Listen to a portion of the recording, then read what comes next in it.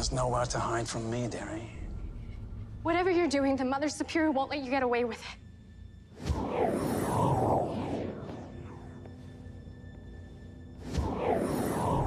That wingless glow bomb won't stop me.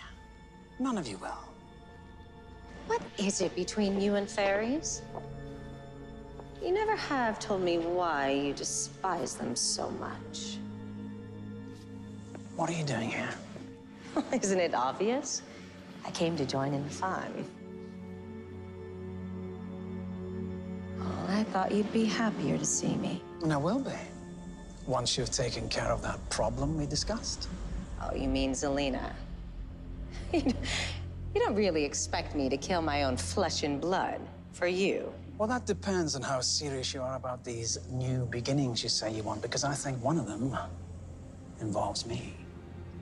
Why should I believe you've at long last gotten over Belle? Because I've finally come to my senses. Belle won't accept me for who I really am. I know you never really wanted to rule alone. Well, you no longer have to. There's just one tiny speck of green in your way.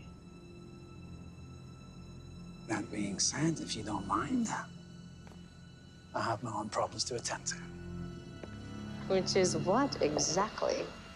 I'm gonna send a message via fairy